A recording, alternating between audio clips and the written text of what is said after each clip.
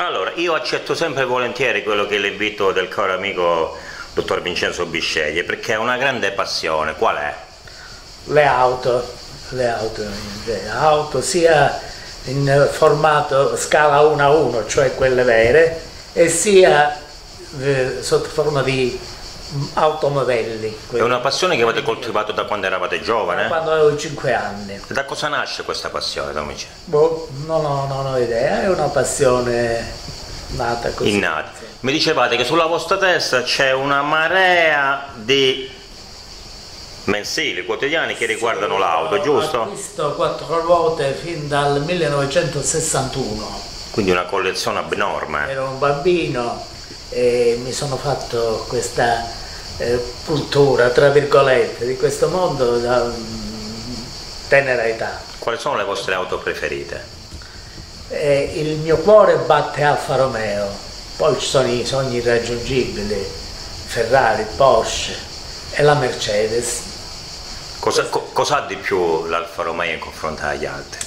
La meccanica, la... il fascino della sua tecnica, della sua, eh, delle sue performance sportive e poi è, un mito, è uno dei miti italiani che- nel mondo, giusto? del mondo che purtroppo adesso si sta appannando perché non c'è più. Infatti io non acquisto più quattro volte questo giornale gloriosissimo da quando ha preso il sopravvento l'auto elettrica.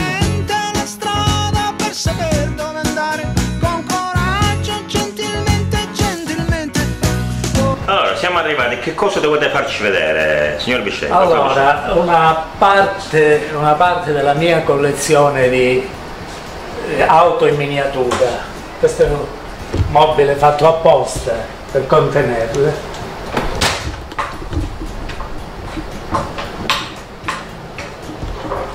Meraviglioso. Sono classificate in base a cosa, dottor Bisceglie?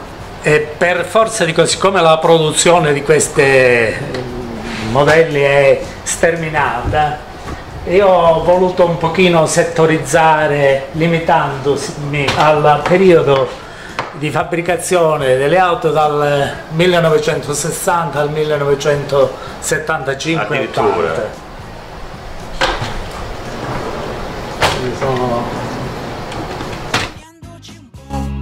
Scinderesti poi la gente, quella chiara dalla no, e potresti ripartire, certamente non volare, ma viaggiare.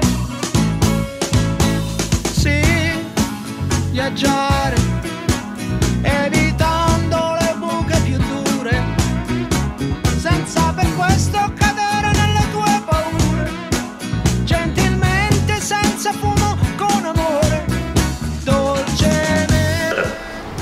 Dottor Bisceglie, che modello è?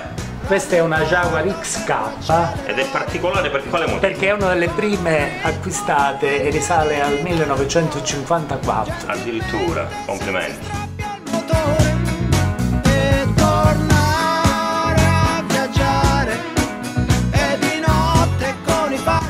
Allora, quanti pezzi sono? Oscilla tra 1000 e 1100 pezzi. Vi, dicevate che la peculiarità è il fatto che ognuna di queste auto ha lo scatolo, per Per avere un valore collezionistico eh, ogni pezzo deve avere la sua confezione originale, quindi tante volte la scatolina, lo sca- il contenitore viene eh, strappato, buttato, invece io ho conservato, occupano un po' di spazio. Il valore intrinseco di ogni pezzo, da cosa viene indicato? Dall'età, dal, Dai, un complesso di cose, non, non ho mai dal- perché a voi non interessa la commercializzazione, questa è una passione che avete voi, So che ci sono alcuni pezzi che hanno un certo valore collezionistico, ma non saprei attribuire. Ok. Più che altro per me ha un valore affettivo. Dottor Bisceglie, noi vi ringraziamo per eh, il tempo che ci avete dedicato e per averci aperto le porte della vostra casa e per averci fatto vedere una collezione così La importante. tua è una presenza sempre gradita e qualificata. Grazie.